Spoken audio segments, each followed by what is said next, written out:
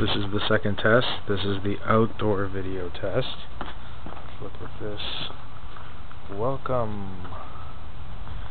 And take a look around. This is how it looks outside. Okay. And here we go. We're going back to the door. Thank you for watching test number two.